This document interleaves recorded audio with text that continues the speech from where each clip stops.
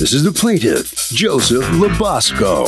He says he and the defendant dated for several months, and after they split up, she called him asking for help because she got arrested. While she was dealing with her incarceration, he took care of her house, her dogs, and even her rent. Once she got out, she kept saying she'd pay him back, and obviously hasn't, because here they are, in court. He's suing for the $4,108.75 he's owed.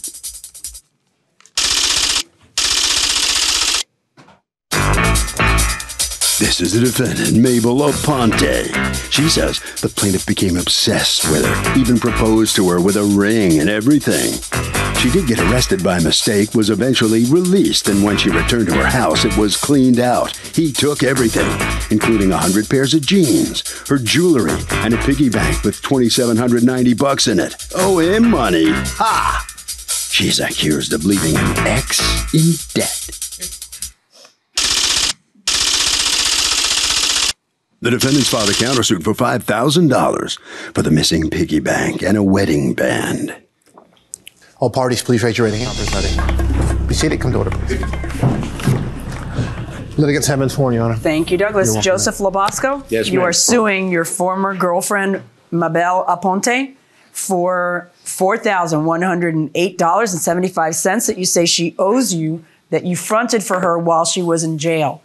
You have a counterclaim against him for five grand. You say you're out much more than that for money you say, and jewelry you say he stole from you.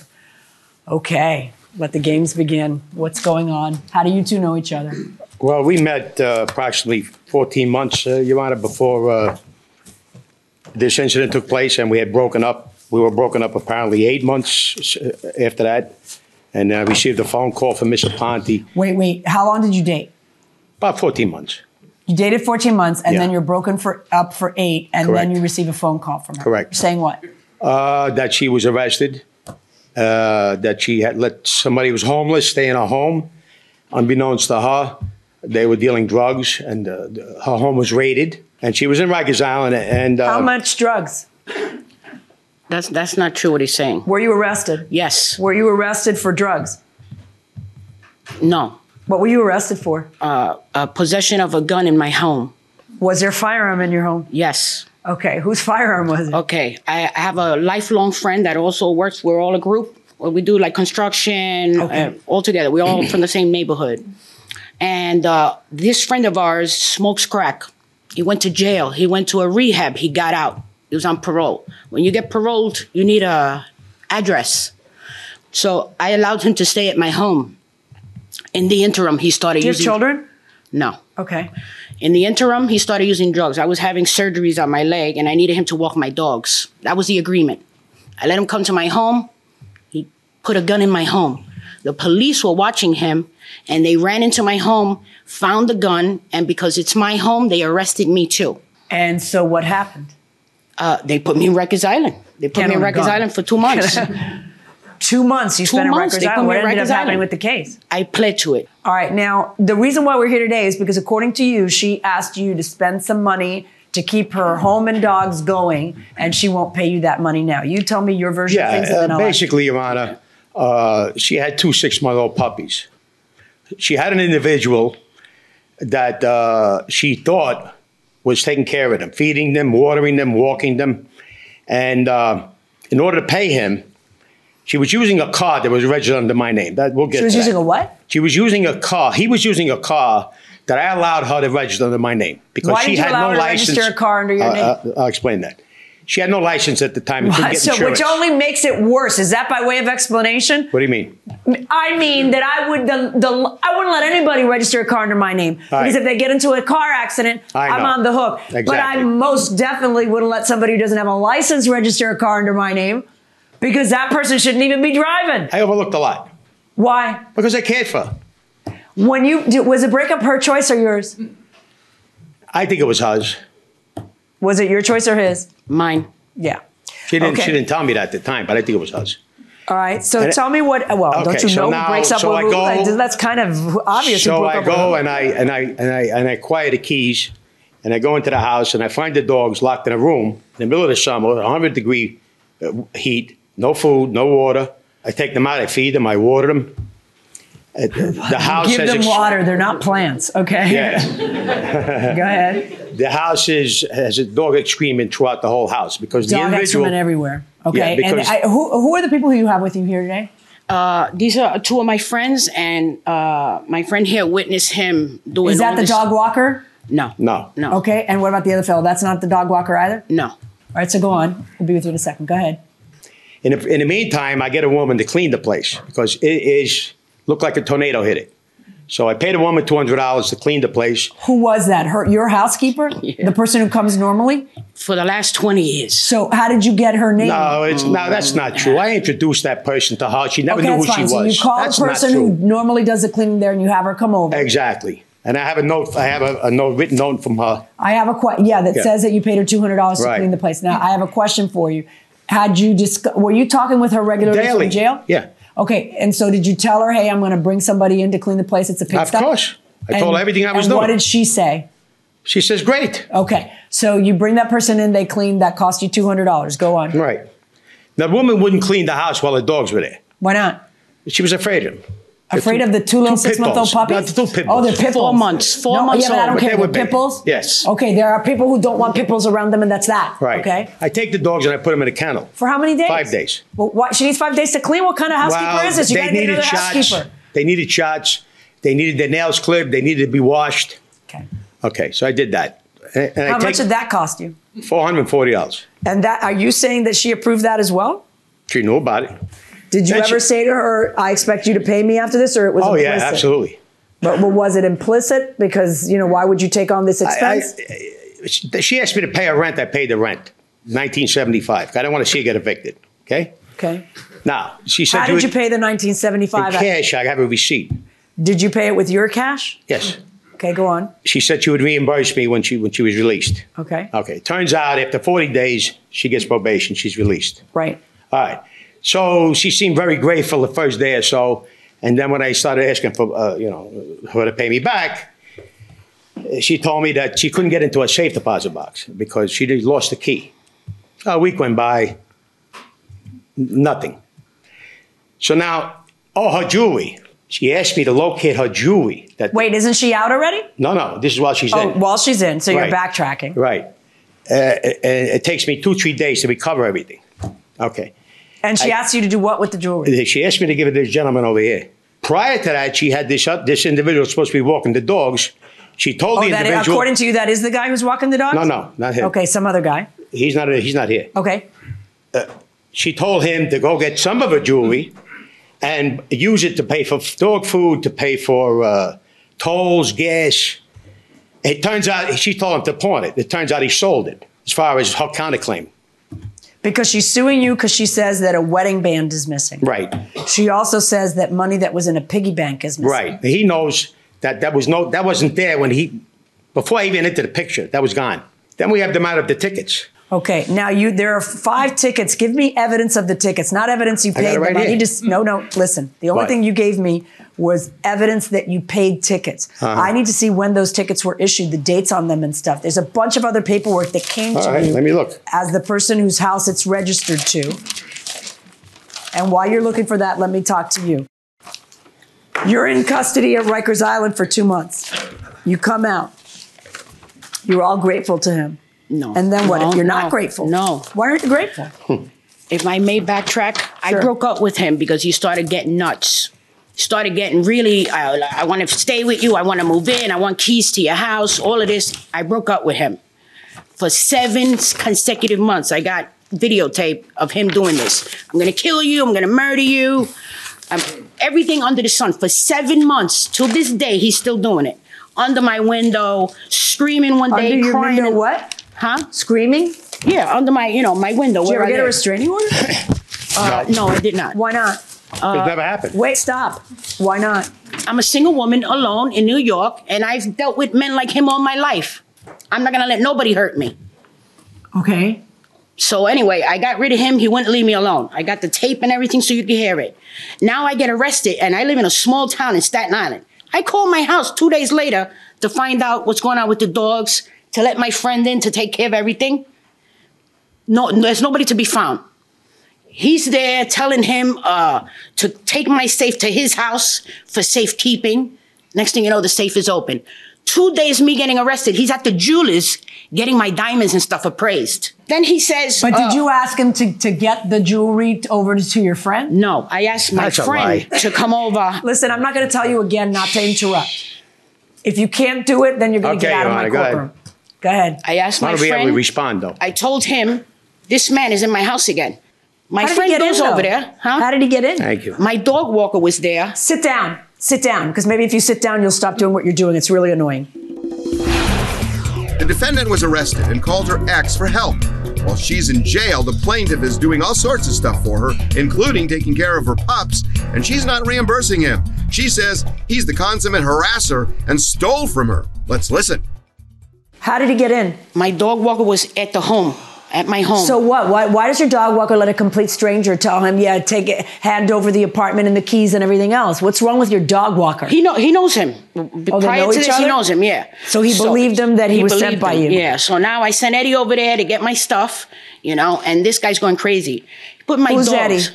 Him. Okay, go ahead. He put my dogs in a kennel and rented it out to an ex girlfriend of his for a Rented week. what out? My home. My Didn't home. you no- stand up, please? Didn't you notice that there was somebody renting her house when because you're No. there a bunch of times? Not exactly. He told me. He told me I'm gonna sublet the apartment, and he said he received a down payment. I assumed that was between him and her. Did he give you jewelry? Uh, yes, he did give me some jewelry. Yes. Okay. Was so there? I can't. I can't account for. You don't uh, know what's no. missing and what's not. No. Oh, right. oh, yes, I know. What's your relationship with her? I'm just good friends for her, like at least 15, 20 years. These are my friends. You know, I trust them. They're always in my home. You know, he had no reason to be there. We broke up seven months. I months don't prior. understand. So when you call your house and he answers the phone, why don't you call the police? Why don't you tell the police or tell him to call the police and get him out of there?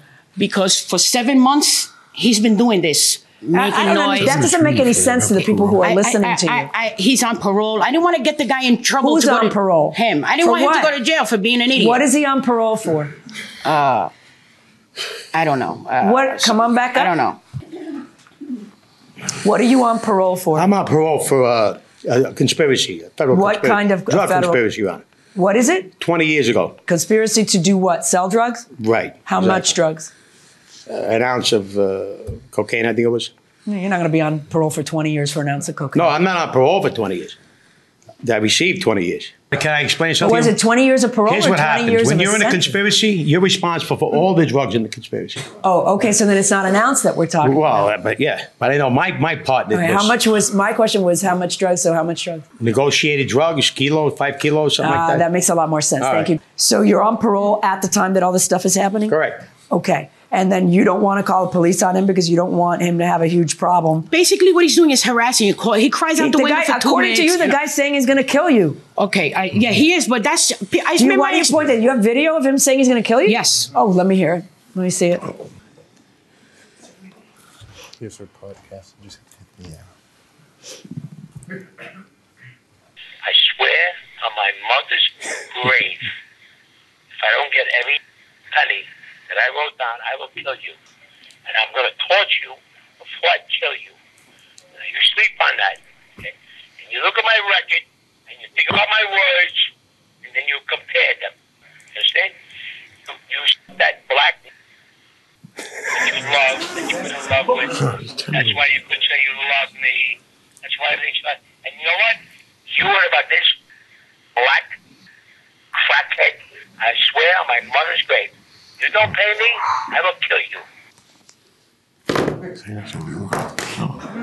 Well, all I can say, Your Honor, is That, that's only one. I'm not I'm not prejudiced whatsoever. No. I really am not. I really No. am not. It was in the heat of anger, and the No, guy. see, here's the thing. In Yeah. the heat of anger, those words would never come out of my mouth Yeah. because they're not in my heart. They're not in my heart You're either. clearly a jerk. You are such a jerk that I don't need, I can't I even agree fi- with you. Shut up.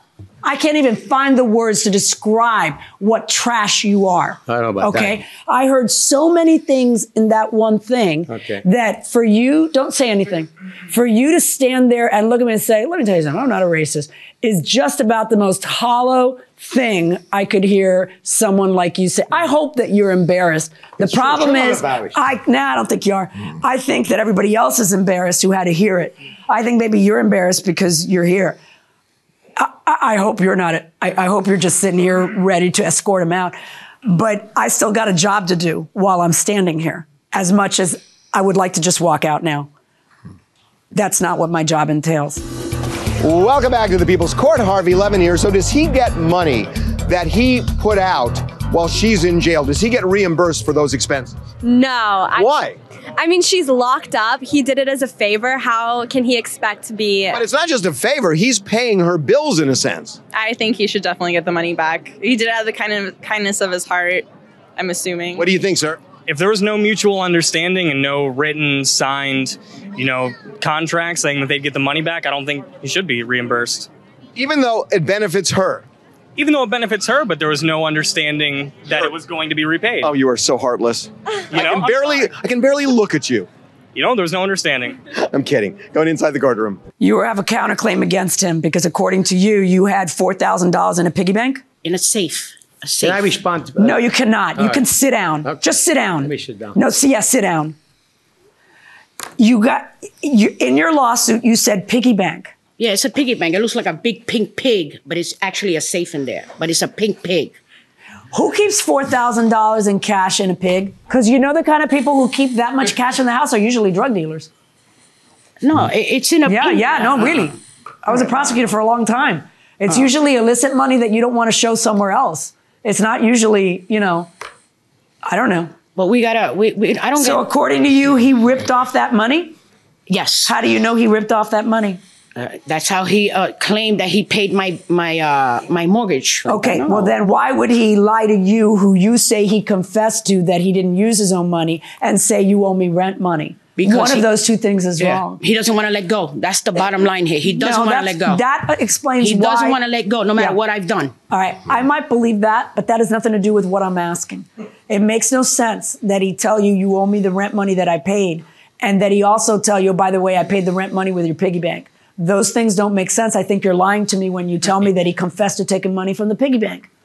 There's no other way he could pay the bill. He's on Social Security. He says he paid your cleaning lady. You know he did, right? No, Uh, no, she didn't, or no, you're not saying no, that? she did not clean the house. Okay, he has an affidavit from her that says I, you paid me two hundred dollars to clean the No, house. she. First of all, she don't even speak English. in your answer to the complaint, though, it sounds like you're lying to me again. Because in the answer to the complaint, what you say is not that he didn't, that she didn't clean the house.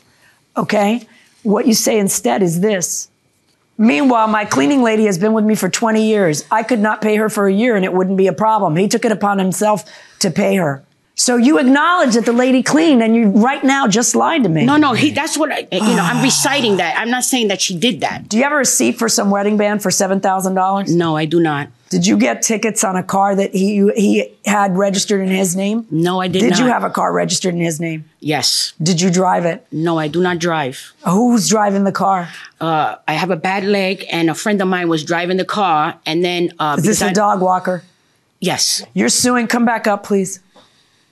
Your part of your lawsuit is eight hundred dollars for gas, twenty dollars per day for forty days. Well, Your Honor, I live on one side of the island. She lives on another. Back, and I, Don't be back and- ridiculous. And so you do you have receipts for gas? No. No. Okay. Do you have any other information on those tickets? Did he ever drive that car? Uh, yes. No, no. Well, okay, but if he didn't drive the car, then there are tickets got, that were Uh, received well, by whoever uh, you loan your car These tickets out were to. when I was in jail, so he may have driven my car, but I can't say I saw him do it. Were you driving that car while she was in custody? I never drove that car, Your Honor. This, her friend uh, was driving the car. Furthermore, uh, her friend, Do you have the proof of the vet bill? yes, Hand it to me, and hand me any any any receipts that you want me to look at right now.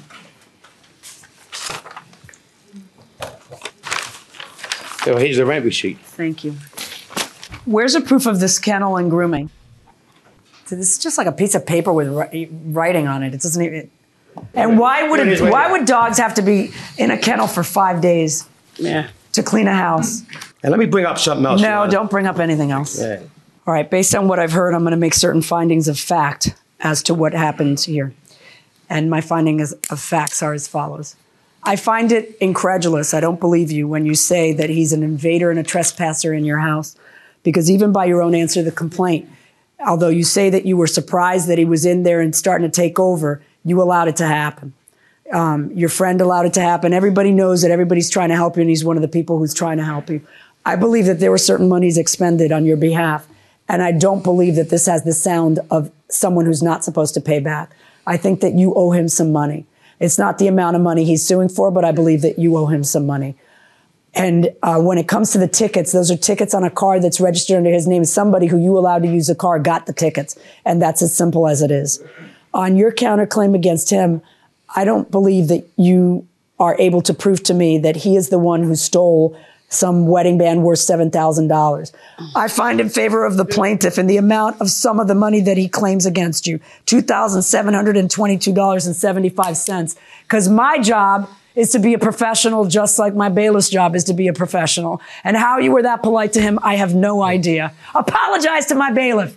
I apologize, and I did not mean what I was taught when I said those things on the tape. Yeah, you do. Because that's because No, you no. live with that in your heart. No, that's, that's why not it comes true. out when That's you're mad. That's not mad. true, Your Honor. Verdict for the plaintiff on your counterclaim zero.